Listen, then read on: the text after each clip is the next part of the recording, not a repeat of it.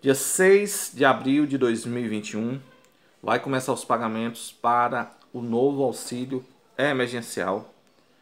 E vocês sabem que quem não é beneficiário do Bolsa Família vai receber primeiro e depois os beneficiários do Bolsa Família. Léo Maroto, quem é que vai receber agora no início dos pagamentos? Quem tem cadastro e não recebe o Bolsa, MEI, autônomos, desempregados e os invisíveis.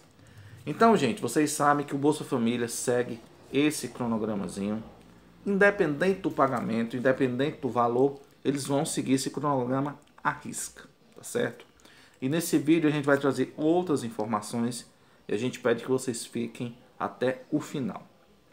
Peço para você deixando um gostei, compartilhando o vídeo e se inscrevendo no canal se você não for inscrito. Por quê? Porque você fazendo isso, primeiro você ajuda o canal a crescer, você ajudando o canal a crescer, vai ter mais visibilidade no YouTube e assim mais pessoas vão conhecer o nosso trabalho e vão pegar sempre informações atualizadas, tá certo?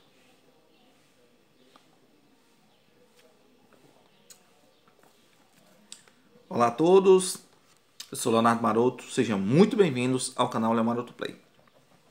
Gente, eu peço desculpa ao som de fundo, mas vou passar a informação.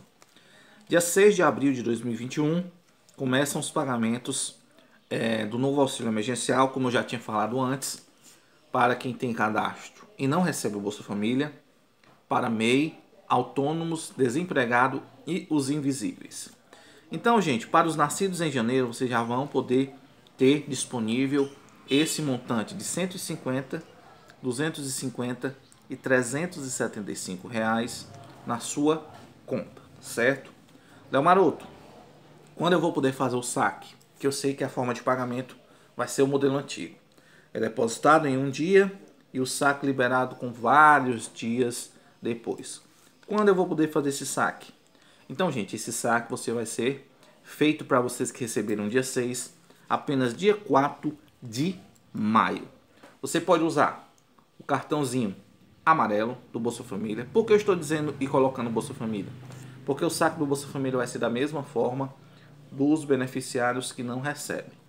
Você pode usar o cartão cidadão e você pode usar também o cartão da Caixa. Lembrando que para esses beneficiários que não recebem o Bolsa Família, vocês podem gerar um código e sacar no dia que estiver liberado para vocês. Lembrando que esse código ele vale por duas horas. Então, assim que você fizer o código, assim que você gerar a senha, você já vai ter que usar. Então é isso, gente liberado dia 6 para os nascidos em janeiro, com saque dia 4 de maio. E para a contestação, se o seu nome não saiu agora é, nesses pagamentos, você vai poder fazer a contestação. Lembrando a vocês para as pessoas que receberam em 2020.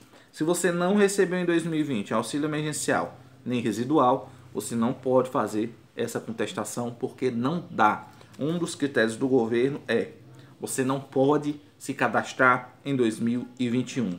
Só recebe o auxílio emergencial em 2021 aqueles que receberam em 2020, independente da sua situação econômica, você não vai poder fazer o cadastro.